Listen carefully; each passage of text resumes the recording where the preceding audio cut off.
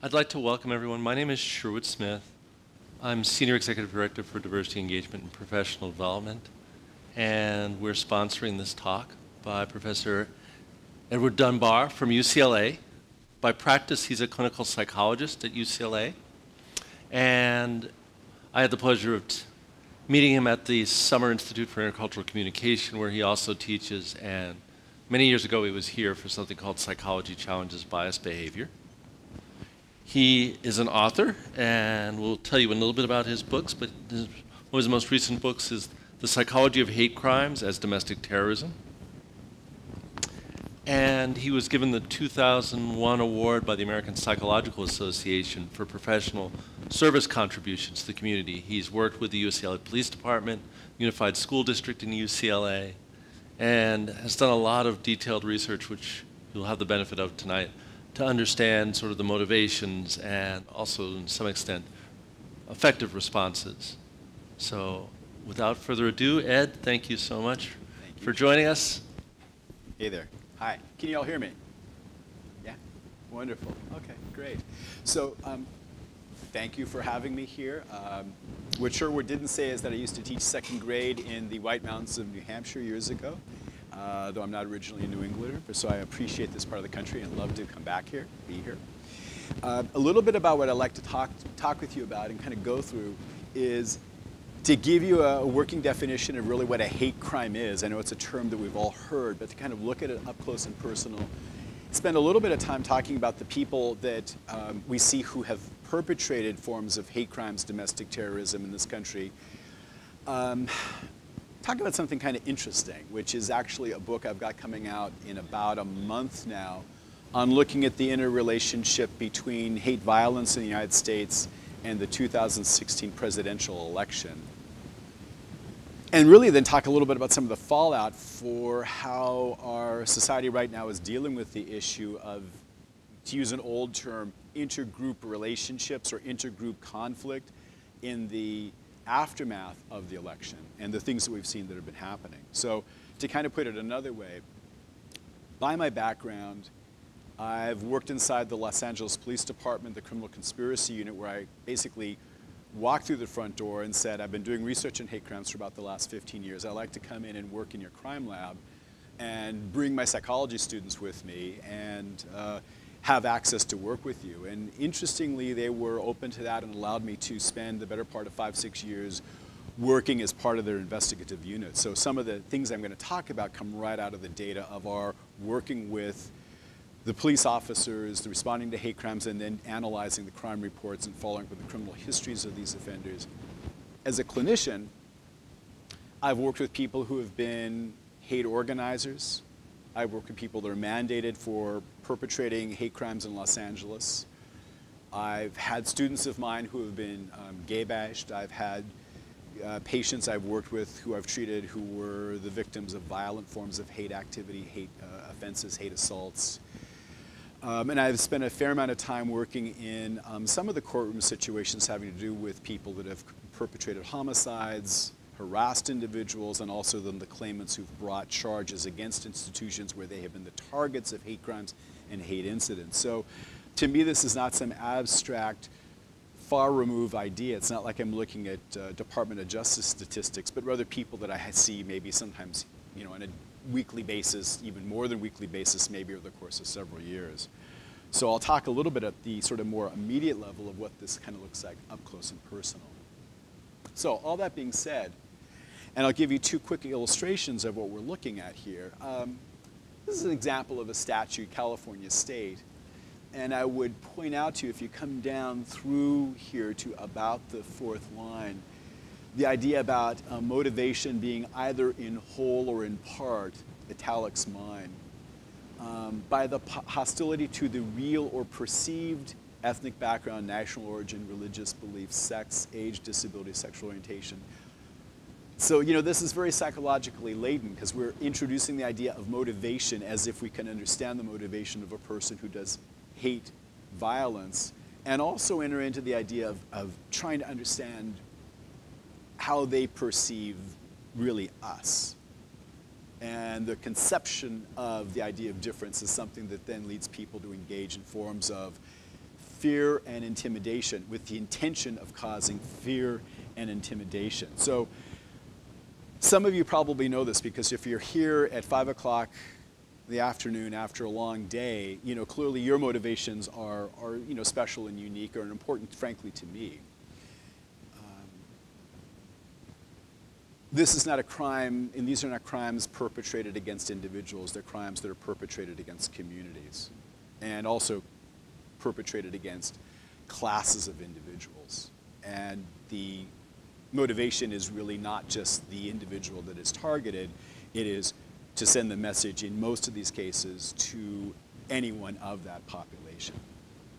Vermont's law, a little bit truncated here, but again, bias motivated violence. And you know, by the way, the word hate is something I want to look at a little bit into this with you to say, hate, is it hate or is it bias? And they are really, you know, in some ways quite different things.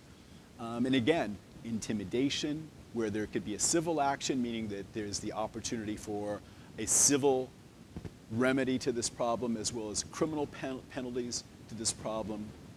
And then we again see the kind of typical classes that have been promulgated here race, religion, ethnicity, sexual orientation, gender, and other, other including physical, mental disabilities. So kind of as a, as a, as a primer um, to you is I'd like to kind of deal with some of the resistance you may find if you walk out of here today and you talk to people about I'm trying to understand what this thing called a hate crime is. It's something that occurs in our country. It's something which has been identified since about 1992 with the passage of a federal act asking for state law enforcement agencies to report hate violence. So what is this thing and what is it we're looking at and what do we see in the way of resistance to this, to this class of legislation and laws?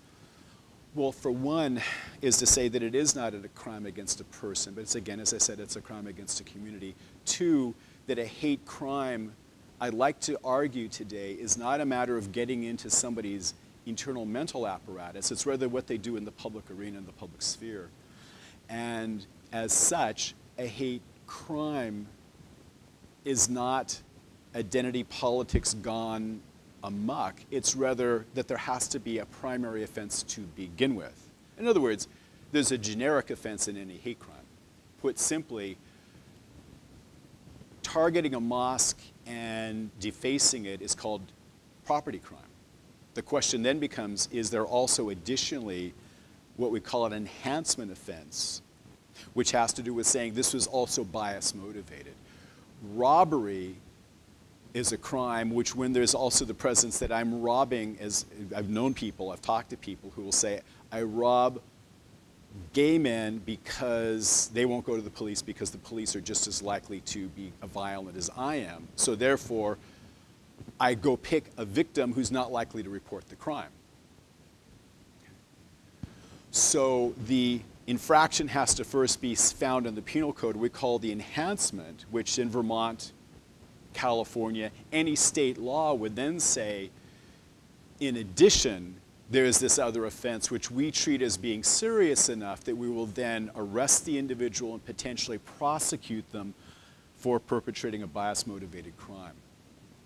So I want to emphasize when people say, you know, here, here we go, all crimes are hate crimes. Now, I've worked in a youth prison in, in New York City in the past. I've honestly must have evaluated at least 2,000 people who have been released from California state penitentiaries. I used to work with kids who belonged to the Mexican mafia in a, in a day program. Um, the vast majority of violent offenders that I've evaluated, that I've worked with, that I've seen, would say they have no animus whatsoever towards their victims. It's for them a lifestyle and it's a form of self-support. It's an economic alternative to working, if you will, in a fast food restaurant. So animus or hostility may be really very absent. And you know, it's kind of intriguing, a term I may not use again today, the clinical psychopath, you know, they may be very under-aroused, right? Physiologically, people are extremely dangerous and violent. In some cases, right before they do the crime, their heart rate drops, their pulse drops. They become focused. We'll talk about that a little bit. So all crimes are not crimes of hate. In fact, the majority, again, of career criminals are doing this where for them it's like their day in the office. So, hate crimes are crimes that, as I'd also suggest, have a cultural meaning to all of us, that we, we understand the offense because it, it, it, it resonates to things about the dynamics of our history, of our culture, of our community, of the relationships we hold. And it, hence, as such, we know that these are crimes, that hate makes some sense, or bias, if you will, makes some sense. And maybe we could do a little quick thought experiment. Why don't we take the first case? So, if everybody could be so good as to get a case study here, and just take a moment silently to read it, and then I'll tell you a little bit about the case, and just to kind of hammer out some of the issues here about what bias may look like in a specific instance. So while this is coming around, let me just kind of add about this. Um, UCLA,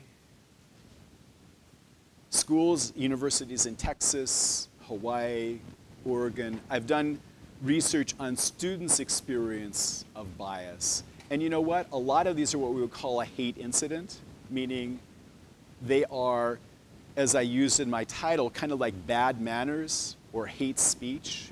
So consider you could walk across the street onto a public sidewalk and use pretty much any kind of language of hatred, and in the United States, it's protected under the First Amendment.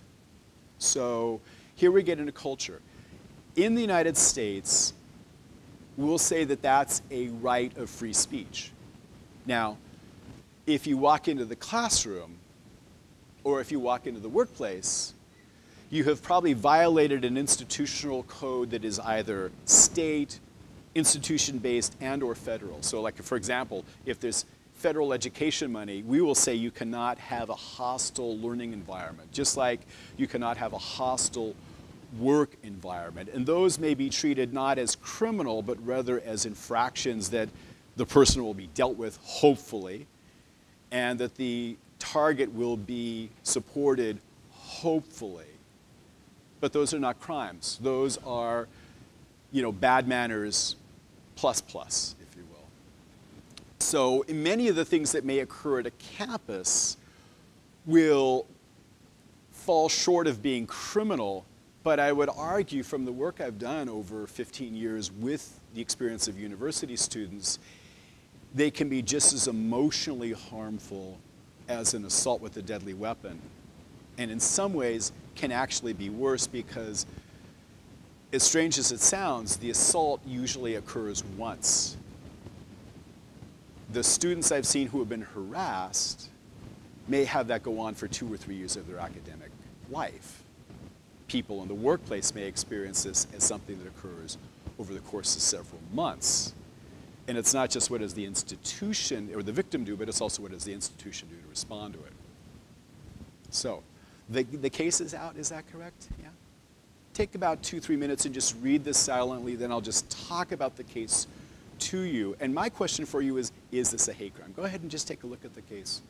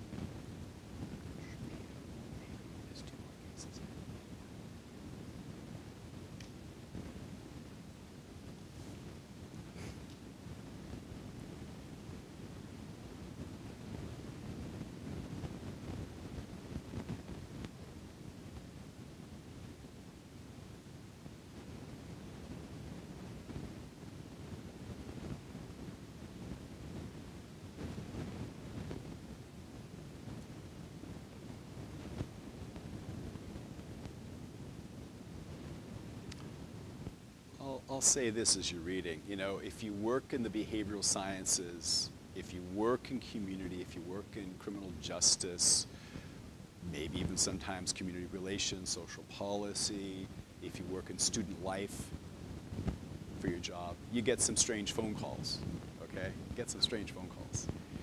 Uh, this person called me up cross country, the, the, the victim, and said, you know, what, what, is, what is this all about? So what do we have here? Again, let's come back to sort of like, you know, basic terms. Um, we have property crime, right? It's graffiti.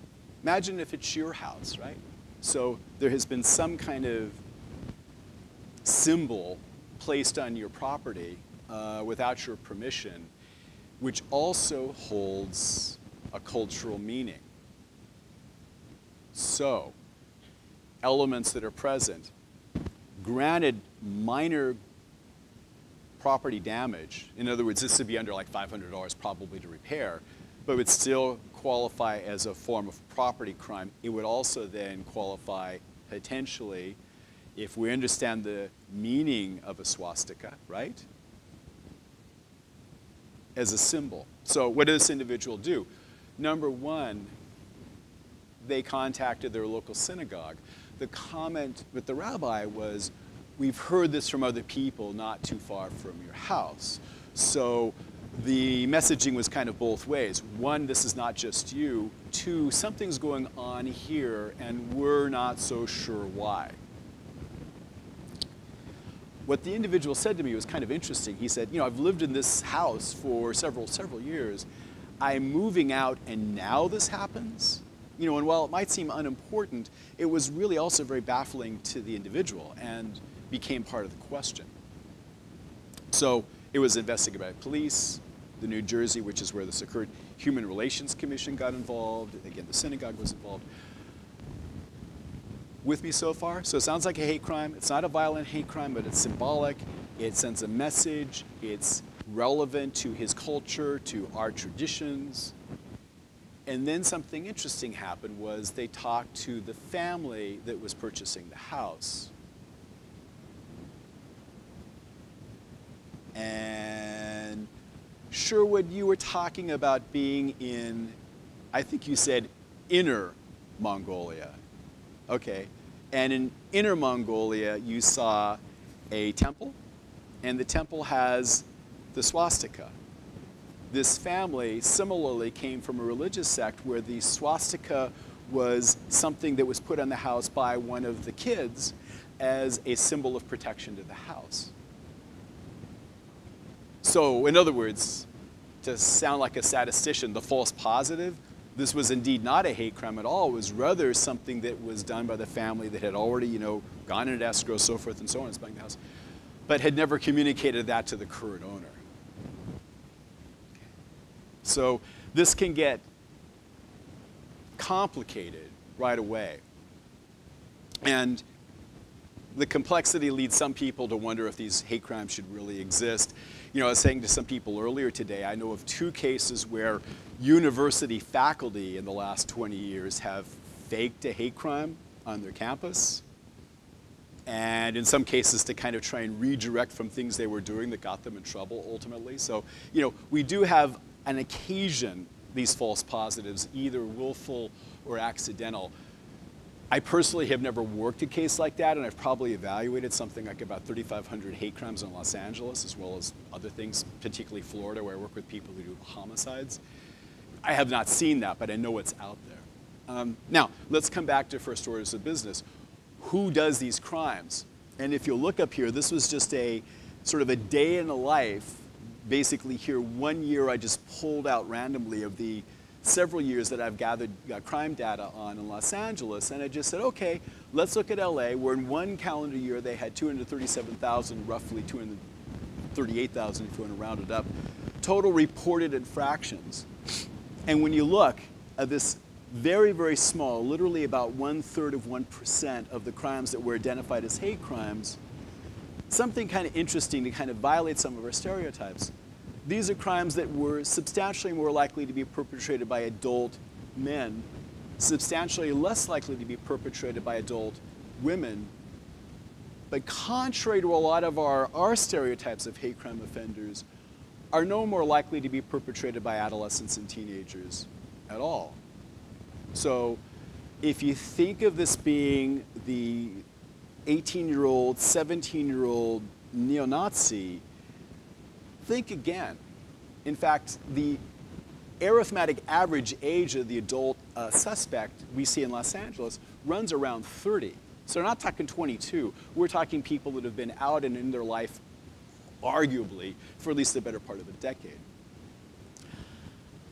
Importantly, too, when you look at the kind of offenses, if you look here in this first, crimes against the person being a violent offense, is that hate crimes on the average in the long run tend to be substantially more violent than most infractions you say in a community. In this case, about three and a half fold more so. Okay, so we can talk about symbolic crimes, and indeed, I would say any real hate crime is symbolic. But when you look at really what's happening, they are more violent. And in Los Angeles, I'm not going to say this generalizes to the entire country, but Los Angeles, I can say with confidence, over 20 years, who are the most violent crimes targeting are two populations gay and lesbian targets and African American men. Secondly, and this won't show here, so I'll say a third thing. Secondly, these are much less likely to have to do with money. So now we get into the head of the offender where it's half again as likely that these have any material pursuit, meaning carjacking, robbery, burglary. The hate offender, in many cases, interestingly, will perpetrate their offense where literally they leave the victim with their money. So you know, we, again, you know, even when I've talked with a lot of career criminals, and, you know, guess what? Career criminals also get on the internet, so there have been times I've evaluated people and they go, oh, I've read all your research, which is a little chilling, you know, like you got some guy out there. As I said to Sherwood, you know, I've evaluated stalkers and they'll send me Christmas cards, you know, like, hi, just checking in with you. It's like, we know where you are, we know what you're doing. So these guys read this stuff, you know? Is there only people to read my research or probably people that are locked up? You have a lot of time on your hand if you're, if you're in the penitentiary um, and they got to access the internet. Um, you know, they say this is a stupid crime. You know, hey doc, why do these people do this? They're not even going for the money. I say, so clearly something else is going on here. Okay? The thing that's not reflected here, but you'll see it maybe a little bit elsewhere, is these are almost always crimes where you don't know your victim. So if we think of hate, you think of passion, right? So a lot of homicide cases that I've, I've been involved in, work with people on over the years, they're crimes of passion where you're acting out against somebody that you have a prior relationship with, okay? That's exactly the contrary here. You are finding people you don't know. You do not know. And it's a culture that people who are truly the hostile, violent, bias identified individuals enter into. So one of my colleagues with LAPD shared with this with me, and um, this is hard to know to see, but here's the thing that's intriguing. In California, there are about 50, actually more, 50 specific tattoo icons that if you are part of the lifestyle, you will look at something maybe the image of the woman or of the skull and the centerpiece that will say, I'm a member of something like we call the Peckerwood Gang or Aryan Nation or the Sotel Gang. And they are, they're communicating. They're communicating then the imagery that will be found that we, we won't know what that's about. And that when these are darkened in, it's a symbol to say, one, I am a member of the gang. Two, as they're darkened in, I have, I have done more violent offenses. So when you see somebody that not only has the symbol, but it's darkened in, it's to say, well, I've probably done a homicide. So, you know, they live in their own world of communicating this idea of violence that we, on the outside, the normies, just kind of sort of get. Um, now, I'll go through this pretty quickly because I want to be sure we have time to kind of look at some of the other questions here.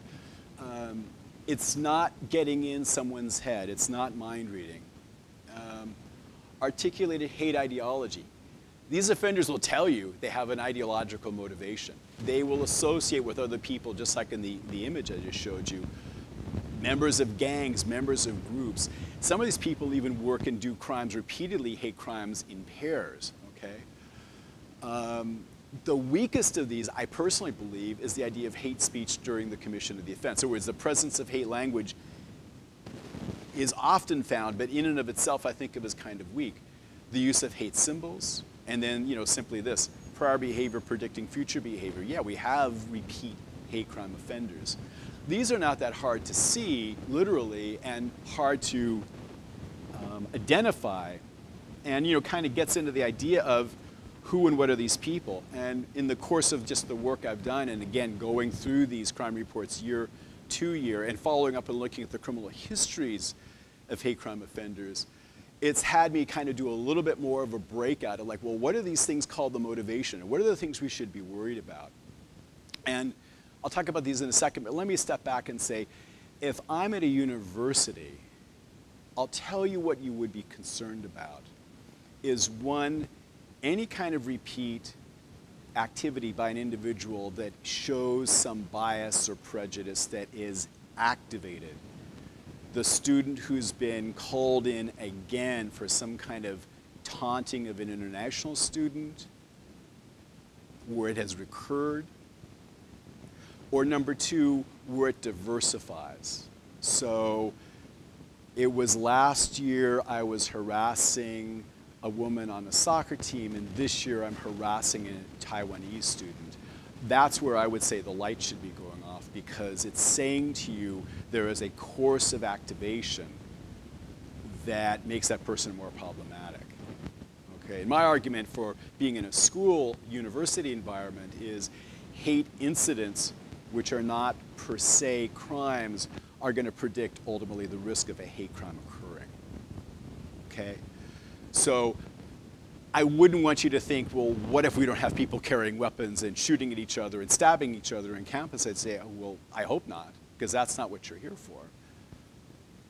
But additionally, think of it this way you're looking at young adults who, in some cases, are going to act out in disinhibited ways because of the use of alcohol, controlled substances on one hand, and then on the other hand, are at a very ripe age for, and if any of you do like mental health work, initial psychiatric breaks, right? So guess what? In my clinical work, people who are more likely to show hostility towards racial differences often show things such as alcohol abuse, hyperactivity, bipolar disorder. These are people that are impulse disturbed. And it's a warning sign. Now, if it escalates, you see the things I've talked about, including some of the idea of targeting people based upon sexual orientation or gender bending. And also, interesting idea, and again, I think this has some play here, probably in more rural communities, not just urban environments, is the idea of protecting your community. And Donald Green, a poli sci person now at Columbia, has talked about this idea of when you look at racialized gangs, you will see that they try to keep their community free of what they see as competing racial groups that could come in. Now, that's an urban phenomenon, maybe. And many of those kids will say, you know, we don't hate this family, but we're going to arson their house because if they get to stay, then the kids will follow, and now we're competing for the same drug trade. Very common theme you'll see with gangs. What I could expect here, you could see people probably driving from rural parts of the state, frankly, to Burlington, to target non US or non Vermonters as a way of driving folks out. In Los Angeles, what do we see? Somebody will drive for maybe 75 to 90 minutes to go find a target of someone that they've never met before.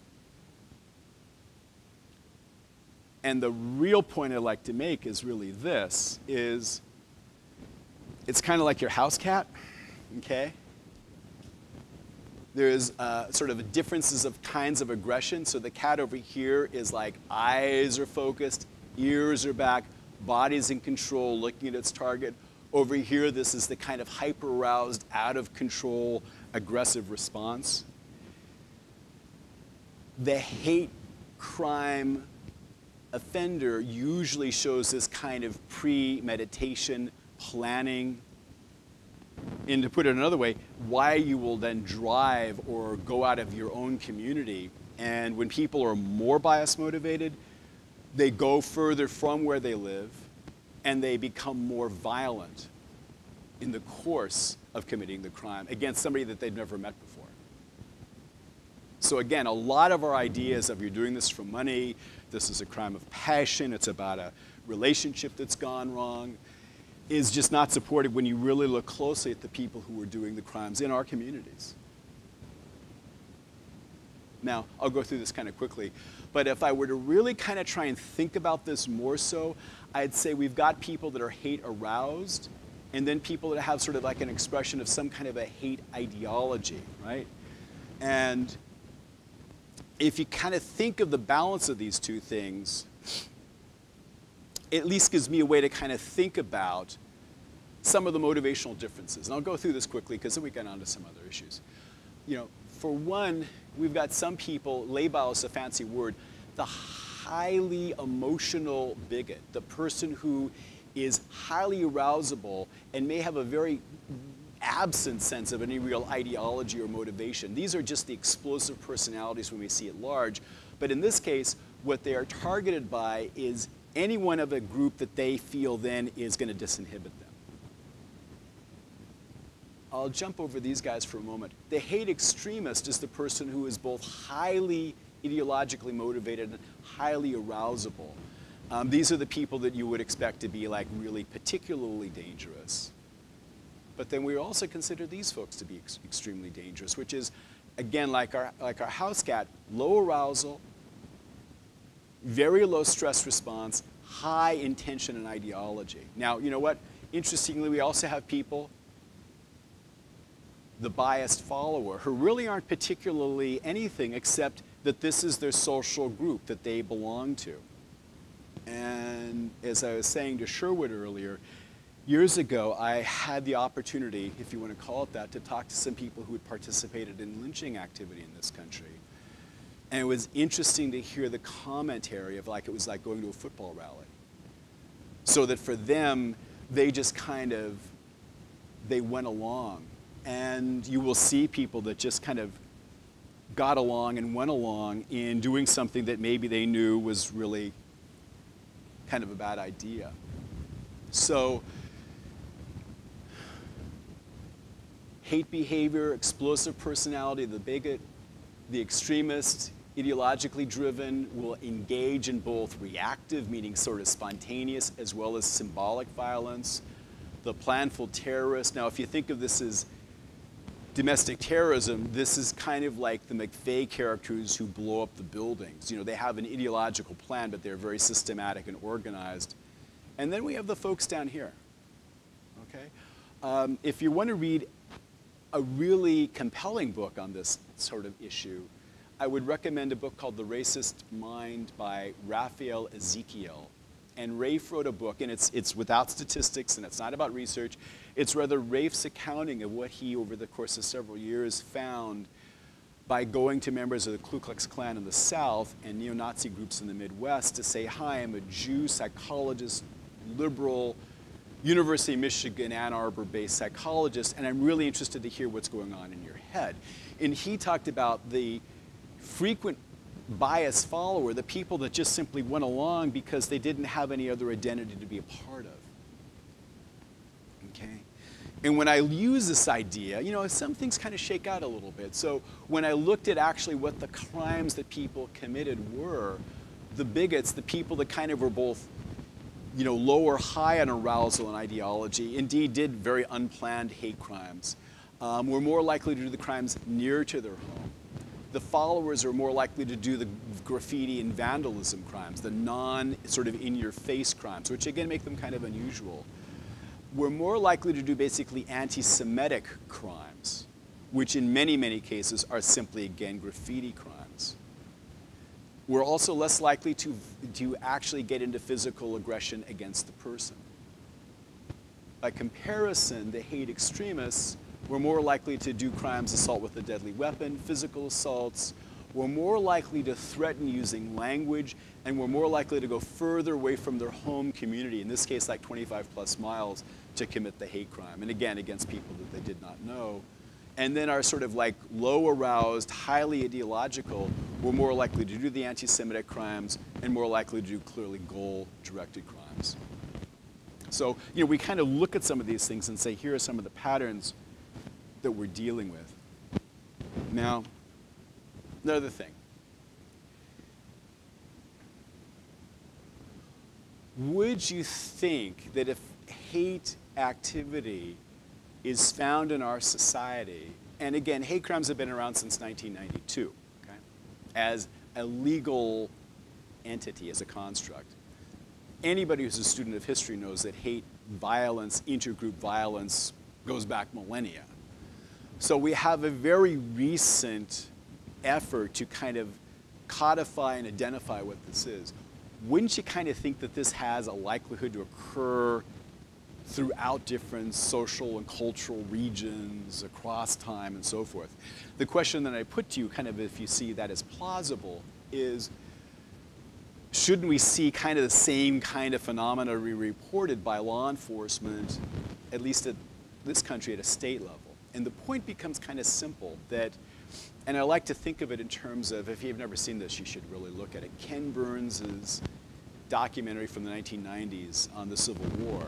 And at the, almost the very end of hours and hours of discussion of the Civil War, Burns turns to Columbia University professor Barbara Fields, where she basically looks at the camera and says, the Civil War is still ongoing. The question is who's going to win? You know, I'm paraphrasing.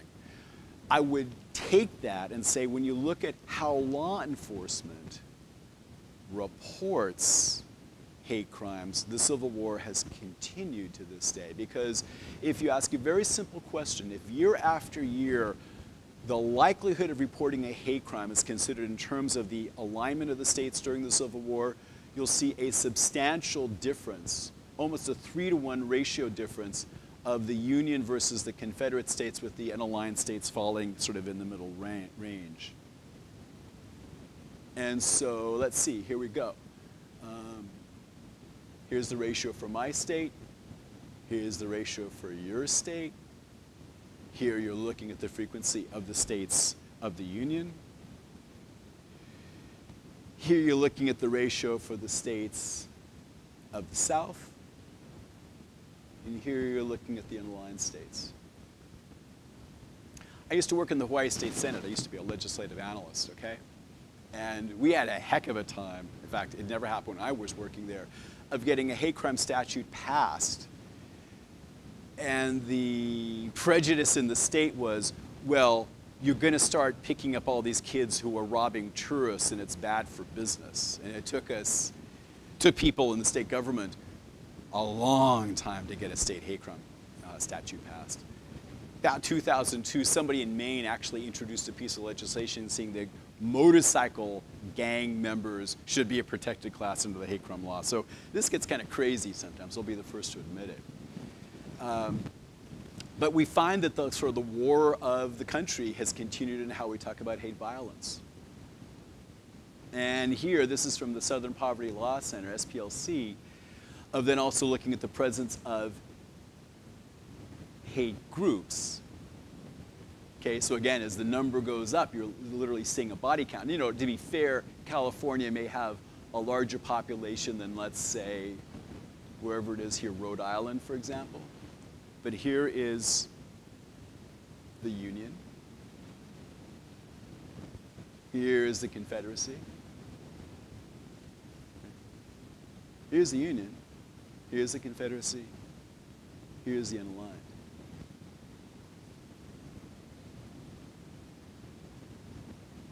So, if you look at just who's reporting these crimes, we get into the question of saying, one, There may be differences just because of the nature of how law enforcement at a state level views the legitimacy of these, of these laws.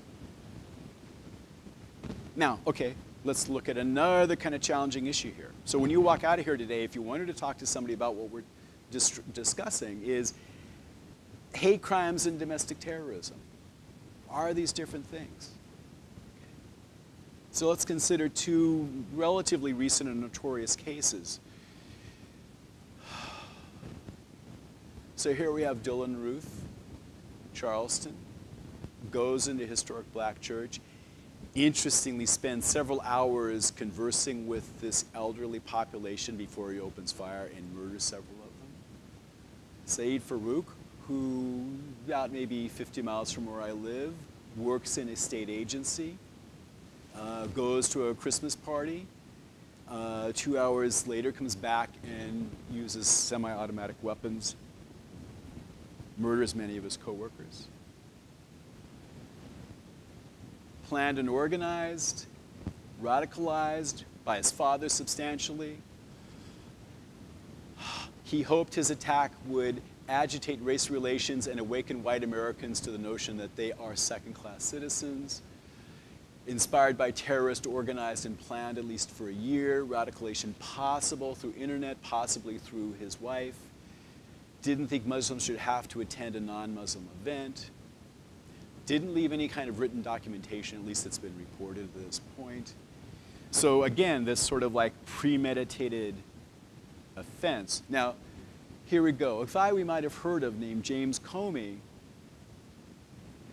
said that the San Bernardino case was, a, was one of domestic terrorism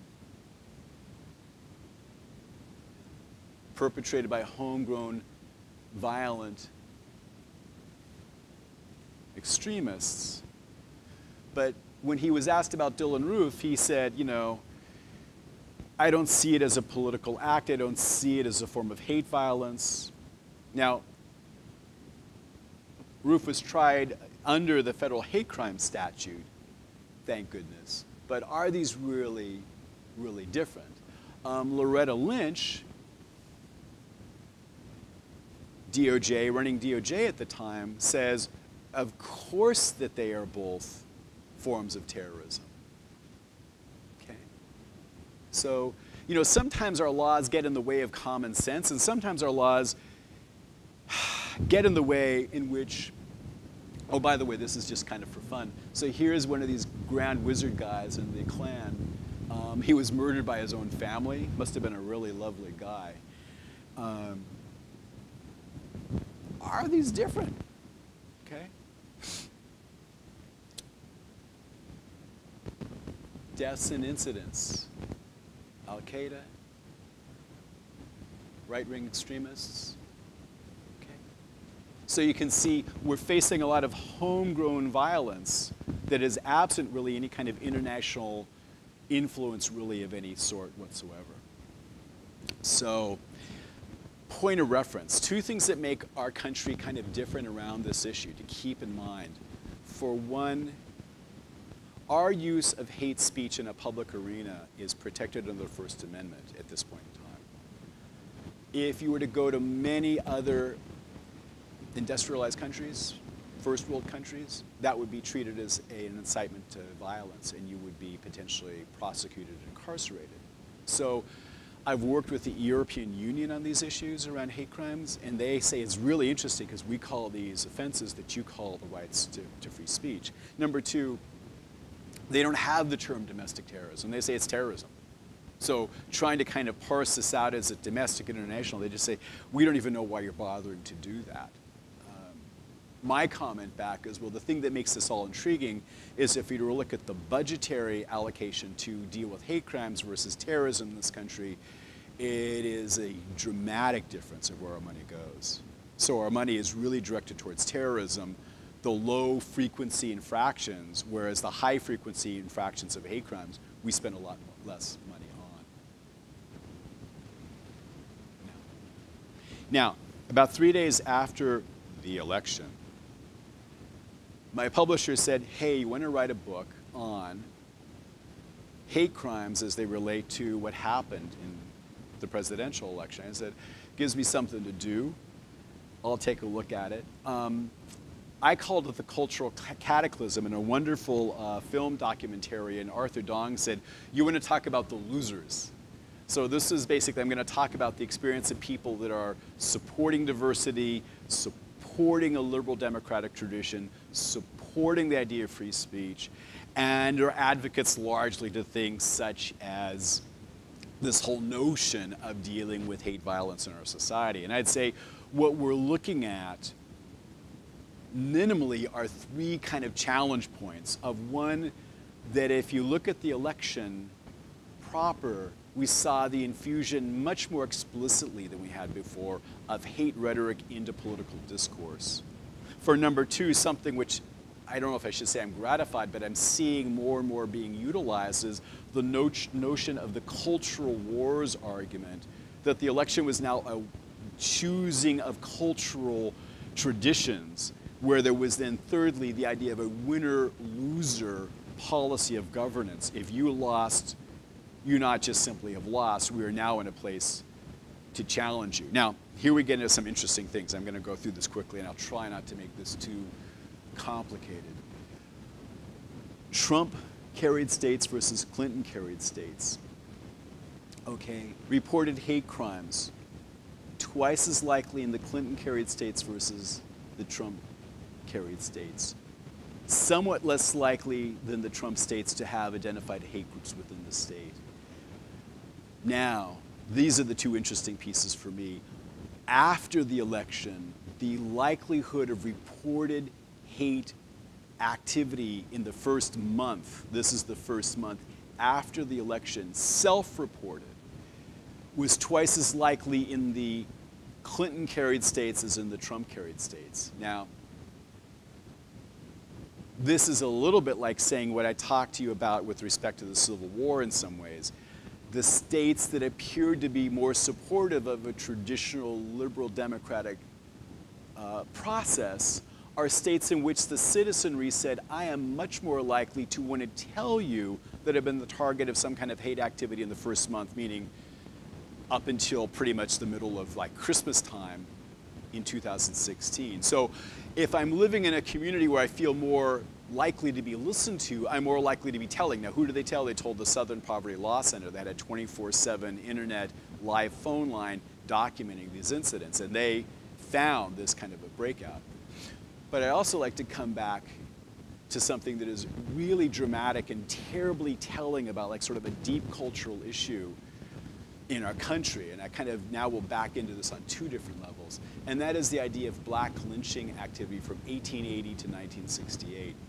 The Clinton states had on the average six reported over an 80 year period of documented lynchings that had occurred according to the Tuskegee Institute, which is the place that has documented, researched laboriously for years violent, homicidal lynching activity against blacks. The Trump states had on the average 110 cases. So let me put the idea of something that is going on 80, 90 years ago and its relationship to our current idea of democracy and of hate violence. This was also the one real predictor when I looked at things such as the presence of whites, the percentage of voting for Republican candidates, the change in economics over the last 15 years in this country. None of those predicted the underreportage of hate crimes state by state. It was rather the frequency of black lynching activity that occurred up until approximately 1970. This was also, again, a dramatic difference we found between the states that were carried by Trump versus Clinton. Which to me is kind of chilling and kind of really telling about some of what we are here about. Um, intriguingly, just to kind of give you something else to think about, what is happening is also to see economic disparity of changes in family median income. And the long and the short of it is what these differences will show is that since about 2000, the Clinton states tended to show a greater level of economic vitality at the median family income level versus this Trump states, which showed a greater decline every five years, according to the census data, vis-a-vis his comparison with the Clinton states. The Clinton states were more economically stable. The Trump states were showing greater economic decline. Again, the black lynchings, the underreportage of hate crimes, the overreportage of hate groups, and the substantially lower number of reported hate incidents. So we're kind of seeing this kind of a cleavage in just how then we viewed and approached the idea of the election.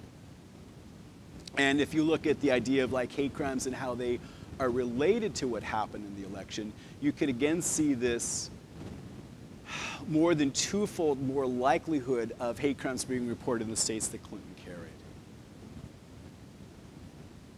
And when we look at since the election, when we look at reported hate crimes, again, we see that the Union states, I would argue here the places people feel more empowered, were more likely to report. Interestingly, here this flipped, Confederate versus non-aligned, and the non-aligned are really kind of a whole mix. Okay. So again, just like I kind of showed you before, you're seeing, you know, the representation of reported hate incidents targeting the individual since the election. Again, state by state. Now, so I'm going to shift and just take a few minutes and talk about what I think is one of the bigger dilemmas. That again, I've been doing a series of um, surveys on SurveyMonkey and following up with people, and also responding to some hate crime cases that was related to the election. So where the election now becomes a motivating factor for some people to uh, perpetrate forms of hate aggression against each other. This is my own personal example, which happened essentially about six o'clock in the morning the next day where I was coming out of a yoga class and a guy who used to work in a missile silo was saying how he couldn't vote for Hillary. And I said back, how could you as an ex-Air Force guy support somebody who thinks Vladimir Putin's a great guy? And his basic comment to me was, well, he thinks he's a great guy for Russia. You know, I'm thinking, man, here we go, here we go, okay? Um, so these are the, you know, the questions I could put to you if we were doing this more as really taking the time on it, you know. How's it impacted you in the relationships you have in our country, personally? How's it affecting your work going forward? You know, these are some of the questions I've been asking folks. And here we go.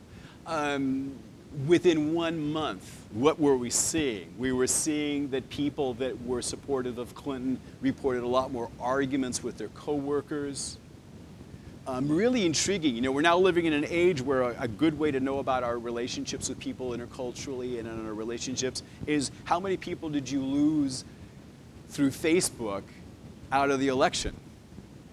You know, and I have people coming in and saying, I'm not going back to Ohio anymore because, you know, and I'm getting rid of my brother off of my Facebook feed and, you know, hearing this kind of thing. Um, what did people associate? And again, these are, as Arthur Dong would put it, the losers. How did the losers look at this? The most primary reported association people had right after was to 9-11. And this is a sample of three. So about one third of people reported their primary association of the loss of Clinton was to the terrorist attack. Then also some to prior presidential, and then interestingly, about maybe a tenth of the people to the death of a loved one. So what were some of the things that people reported in the surveys that I've done? You know, were things such as economic risk, healthcare issues, mental health risk, and then after the inauguration, numbers that stayed pretty comparable. And again, here's the Clinton supporters, here are the Johnson, Stein, um, Teddy Roosevelt voters over here, you know, the people who voted for everybody else. And what do I see as the way that this is being activated? Because, you know, for me as a hate crimes researcher, you know, what I'm looking at is we are seeing the collectivist attribution, which is always your tip off to stereotype. You know, the blue states believe this, the Hillary supporters believe this, the Bernie supporters believe this. Amplifying factors, be it media, be it alcohol, be it social permission giving. And you know, to me, this is one of the great risks we're running right now. is the kind of very soft response or the coded response that we're hearing to things such as Charlottesville, which where I sit is I'm thinking, I know folks who are going to hear that and are going to say, see, it can't be that bad, you know? I mean, see, here's what I would tell you. The way I look at it, this is an opinion, but it's an opinion based upon what I've worked with. About 10 years ago, I did a homicide case where a young man murdered his peer, another young man who was his neighbor for years. The young man who was murdered was an Asian man. The young man who did the offense was a white man.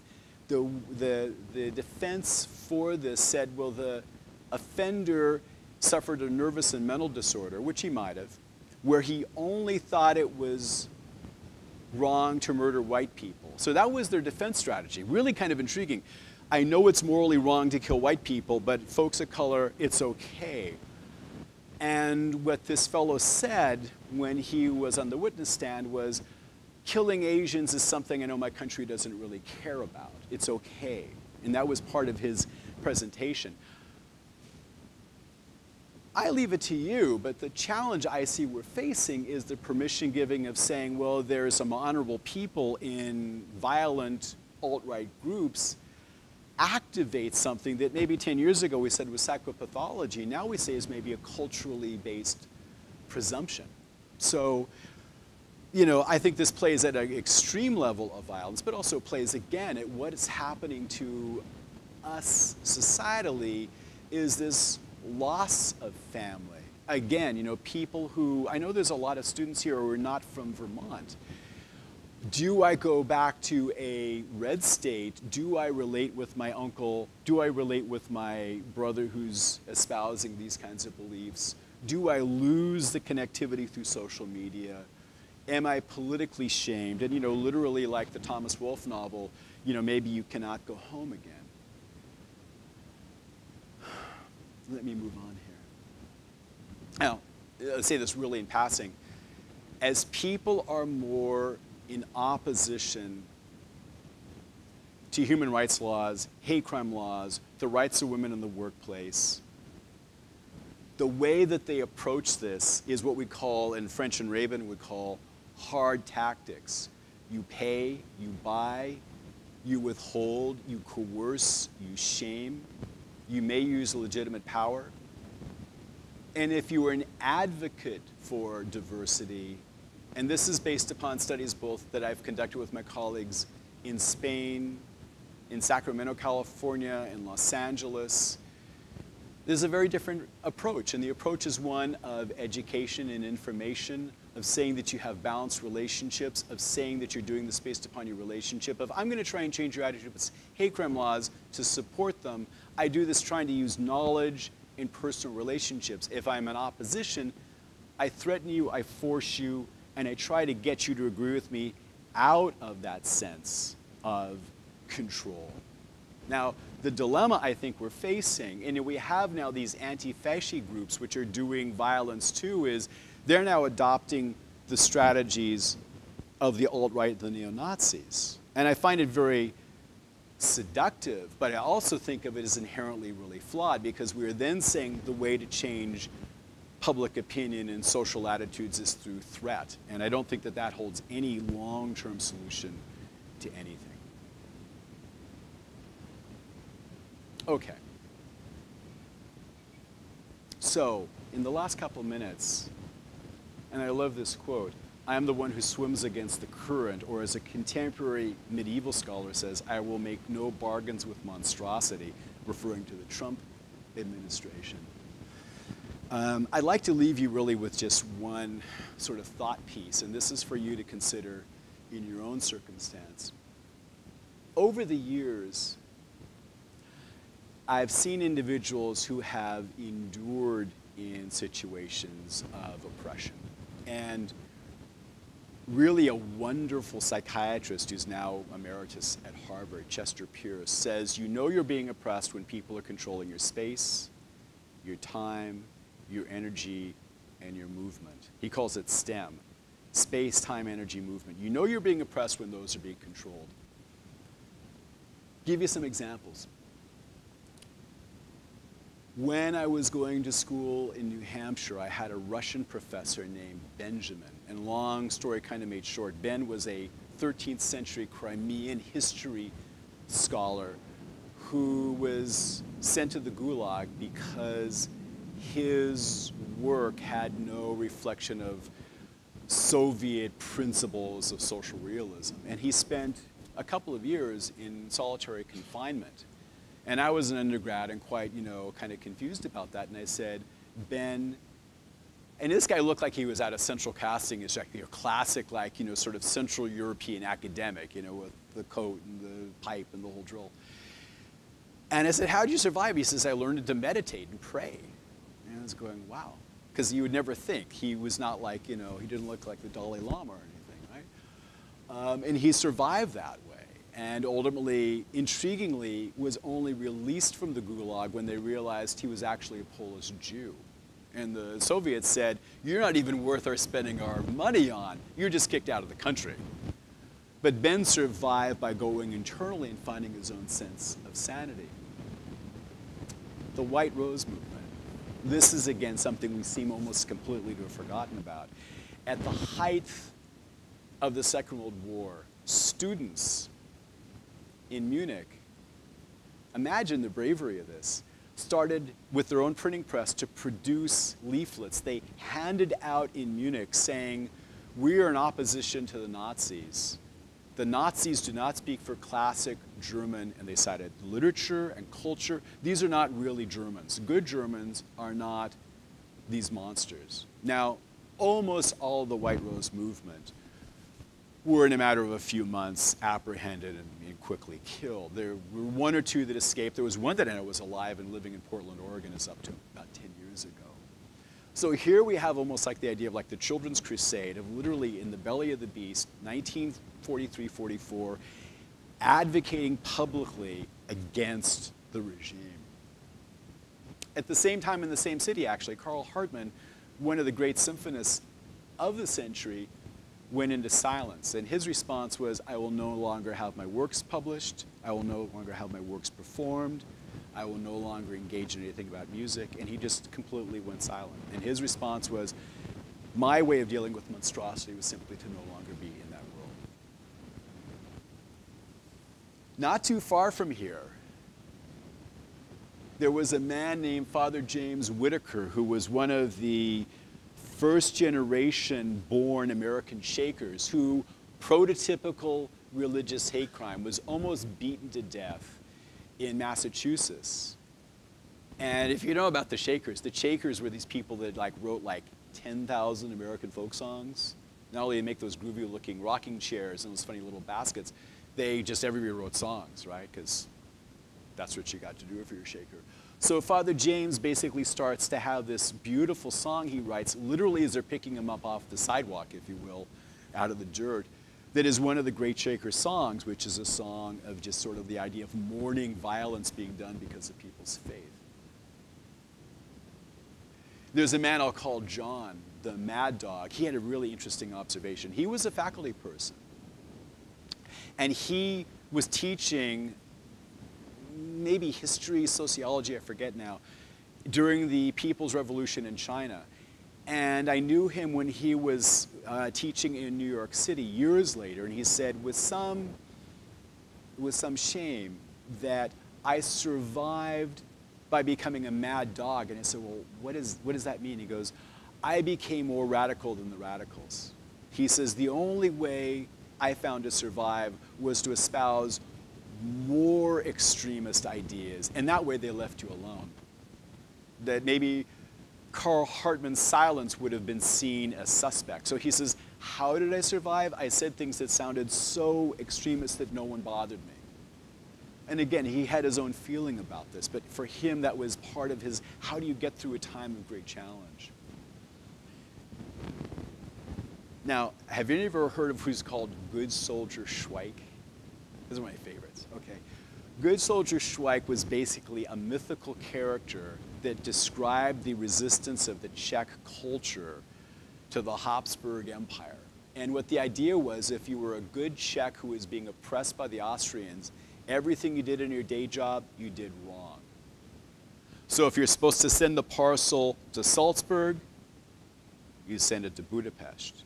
If you're supposed to be docu- documenting something in triplicate, you document it in 30 copies and then you send it to the wrong department. So Good Soldier Schweik became like a folk hero for the Czechs of saying, you know, the way we survive this militaristic imperial world is we do everything wrong as a form of passive resistance. And became sort of like this heroic image in the period during the First World War. I then argue we also have what I call the ghost of the machine. And, you know, uh, Congressman John Lewis, who I once had the opportunity to actually talk to about hate crimes, um, is a wonderful example of somebody who comes from the Selma March through to today and was, of course, the first person who really called into question the legitimacy of the Trump administration.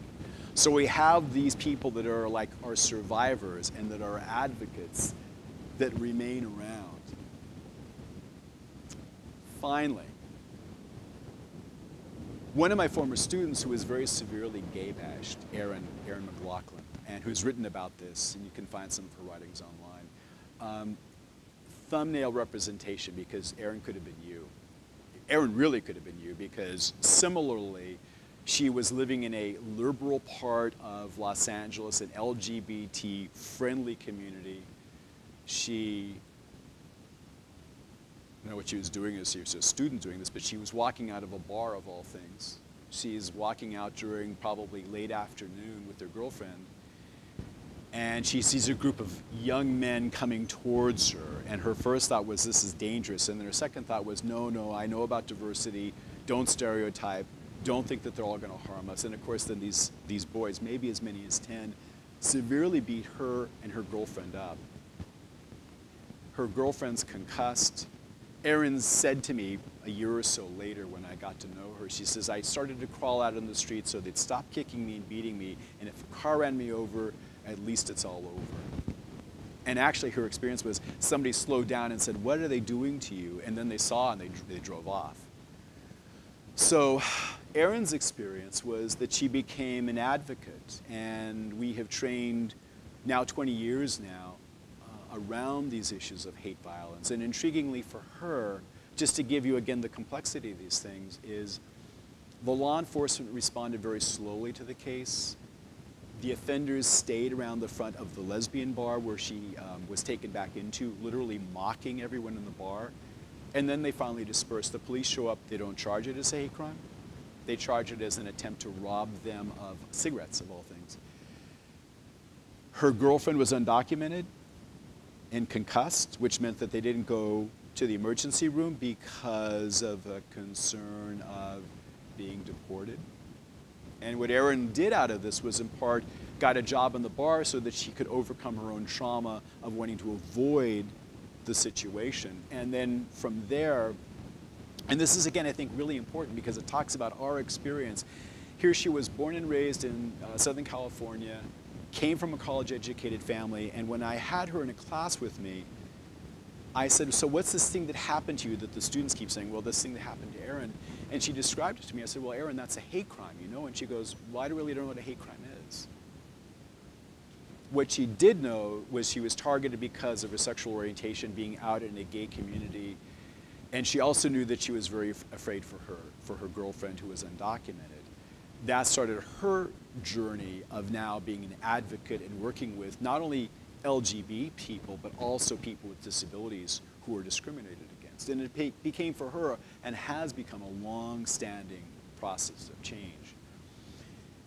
So we're not alone. And, and the last person, and I guess maybe rightfully in some ways, was a former member of the Mexican Mafia who I knew was a teenager, who was about 17 years old when I knew him named Mikey. And Mikey would describe himself proudly as a cholo, as a real classically garbed, dressed out gang member.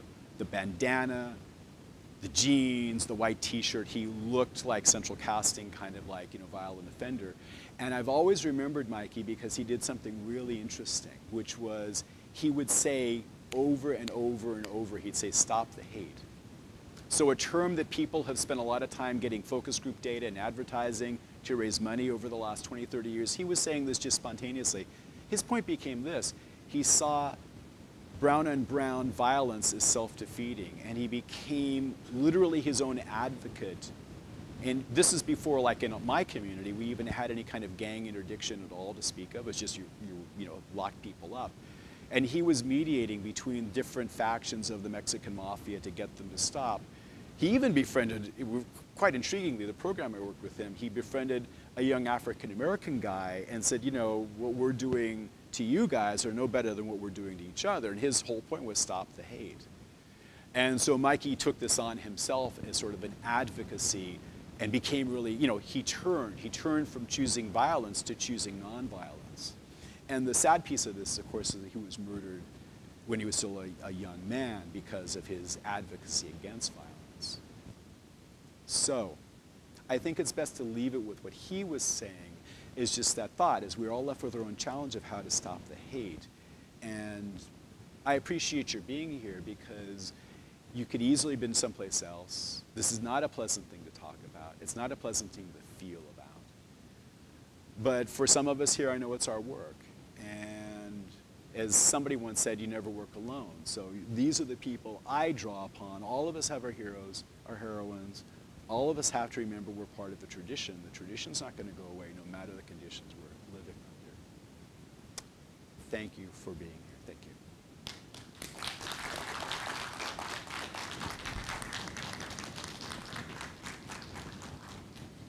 So um, thanks for sticking around. If you have some questions, I think Sherwood, we have a little bit of time to talk. Yeah, okay, okay. Questions about anything I have or have not said, please high up at the back. Yes. Hey there. I'll try.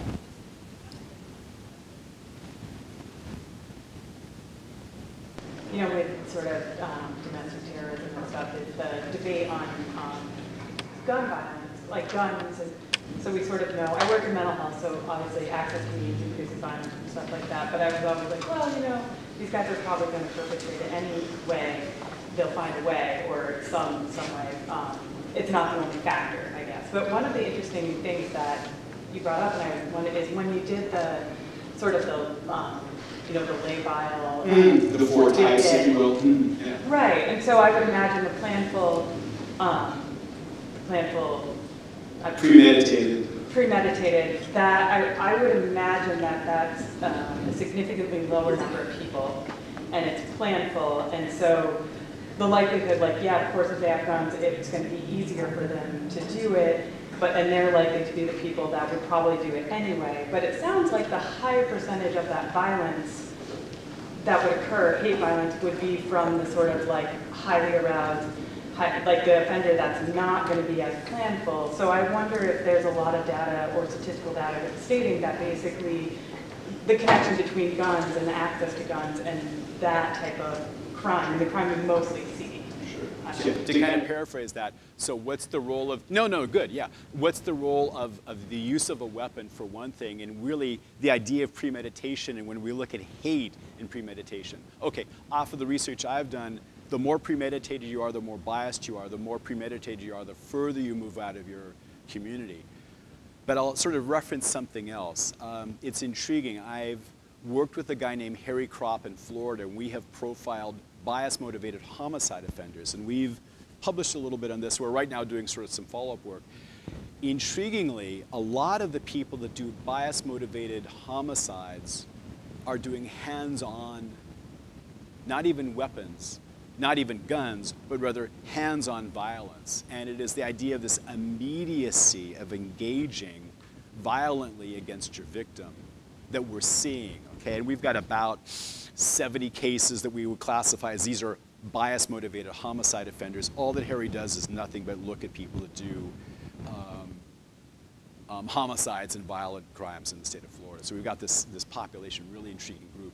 The other intriguing thing, though, about people that do murders where there's hate is the very, very high frequency of childhood violent abuse done to them prior to becoming adults and doing um, bias motivated homicides.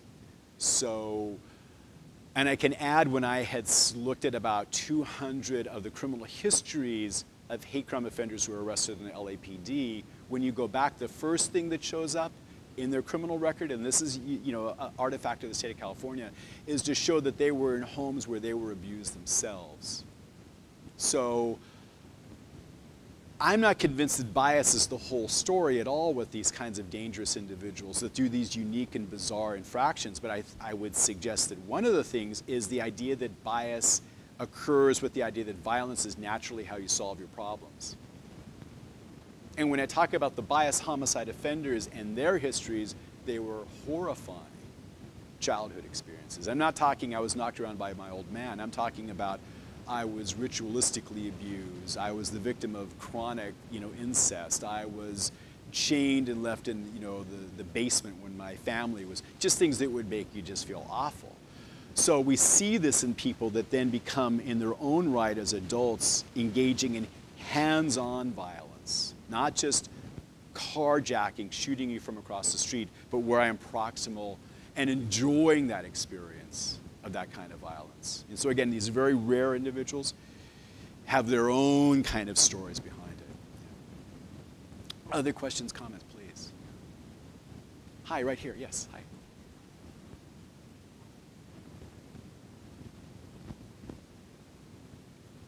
Yeah, how does poverty play a role? Um, boy, uh, it plays some role. I would, I would argue in two levels. See, I've known hate crime offenders and I've worked with hate crime offenders who were uh, highly skilled professionals, highly degreed individuals. So I'm clearly seeing people who are very successful professionals who engage in hate crime activity. That being said, as with any criminalized activity, when you look at gangs, you see poverty, the absence of economic resources, the absence of internal resources of education, of stable families and domestic environments, and clearly that that's a factor that both creates the risk and, and very importantly here, creates the risk of recurring hate crime activity. And you know, put it this way, this is the same with anybody that belongs to a criminal gang what happens if I get the person to leave the criminal gang? What are they entering into? Not just a hate gang, any criminal gang. If you're going to say you should really get out of the Mexican mafia, you should get out of the Peckerwood gang, you should get out of the Aryan nation, the challenge becomes do I have anything to belong to? And if what we're saying societally or institutionally is you're on your own, then of course these people come back to these groups. Now, having said that, I'll ask, answer a question that wasn't per se really asked, but which is this. Do you incarcerate a hate crime offender as a way to fix the problem? Okay, the great dilemma is if you have been convicted of a hate crime and you are incarcerated, guess what happens when you're institutionalized? Everyone's going to find out what you're there for. Anyone who's not of your racial group in some cases religious group or ethnic group, holds you with greater animus. The one group that will support you is the group that you're a part of. So if you come in as impoverished and hate-oriented, you're protected by that group, you were radicalized by that group, and if you're released, what else do you have except the group to go back to? Give you a quick story, and this is all public record, so I can say it. I remember looking at a case with the uh, DA's office in Los Angeles, and it was a young man named Randy Rojas, Latino last name, who was raised in a multi-ethnic household, and he exclusively perpetrated violence against Latinos. And when they investigated him, the FBI said, what are you doing this for? He goes, I believe in white power. I'm down for white power. Now, Randy lived in an extremely poor community, had not graduated high school, had a meth problem, belonged to a white power gang, lived in one of the poorest parts of the Los Angeles County area called the High Desert area. A lot of meth labs and a lot of poverty and a lot of unemployment. And intriguingly, here's where we get into the demographics. A part of Los Angeles where we call it the white flight idea of the 1960s, the whites moved out of the inner city, went to the high desert. The 1990s, Latinos move into the black communities that have been white, the blacks move to the high desert.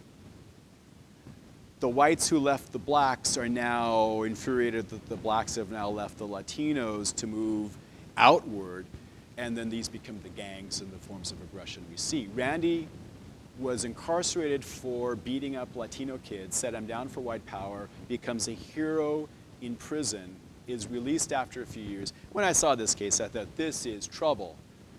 He's released, and now get into the mindset. You're going out on a date with your girlfriend on a Saturday night.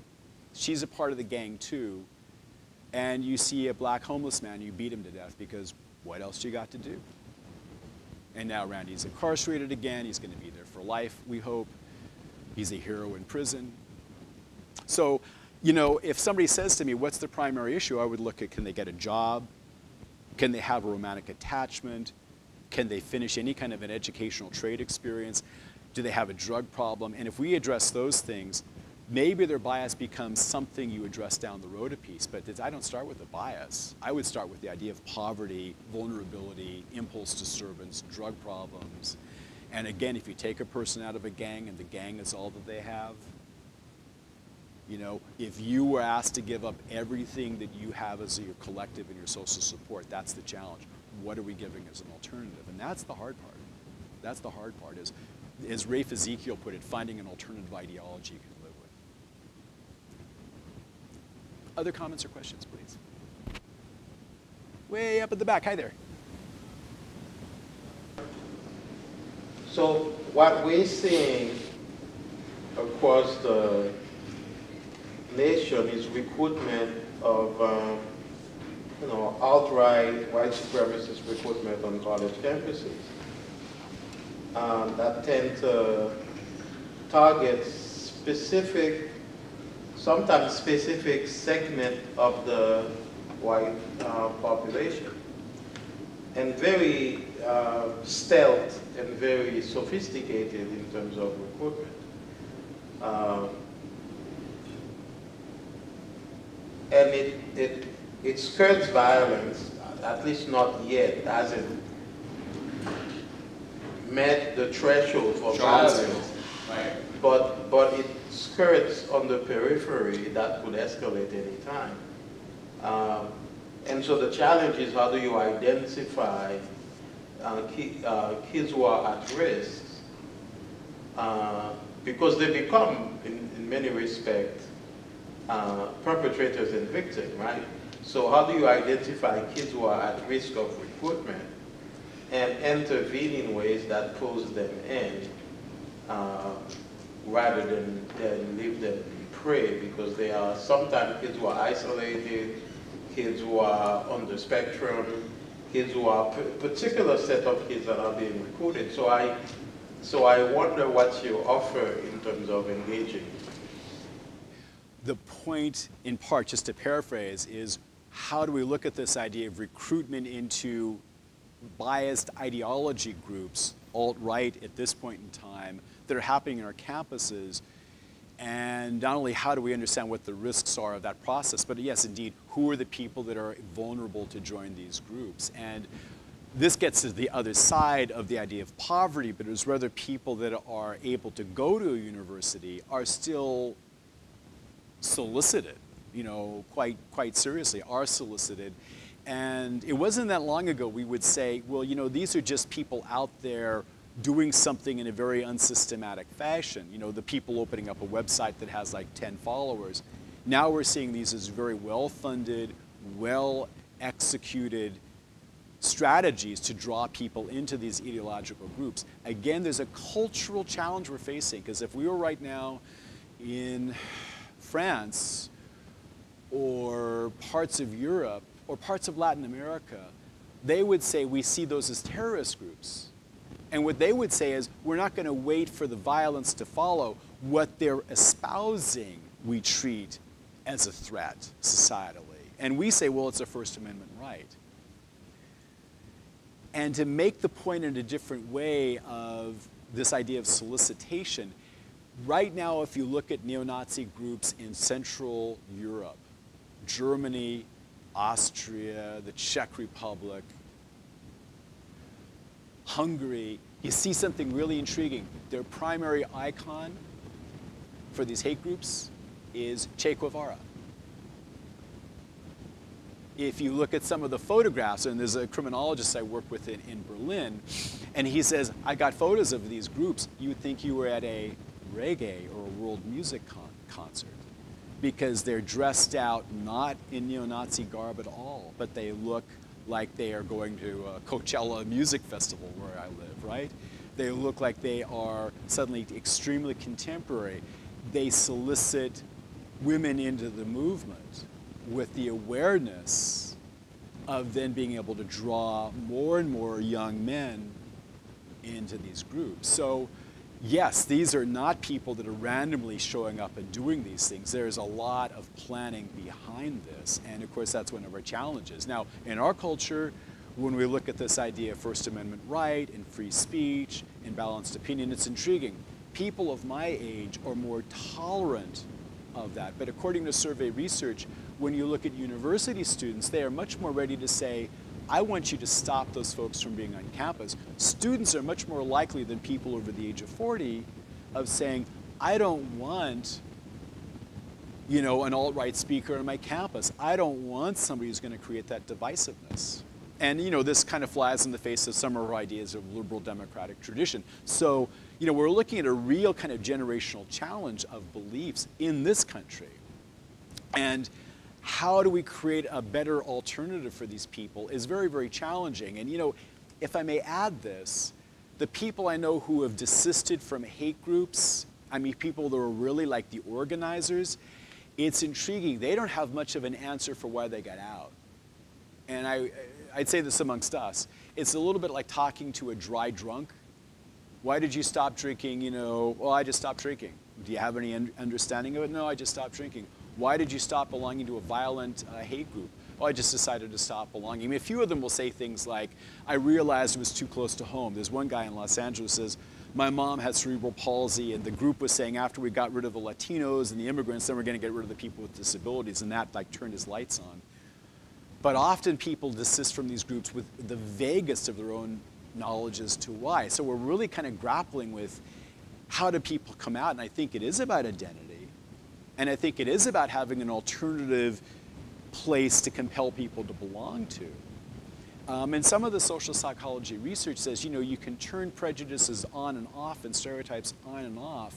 And I think that's what we've got to look at is how do we turn off beliefs in things which are extremist and give a person a place at the table where they feel like there's something they can be instead. And I'm concerned we're kind of losing that battle to the alt-right and to these you know, well-planned uh, recruitment strategies we see around the globe.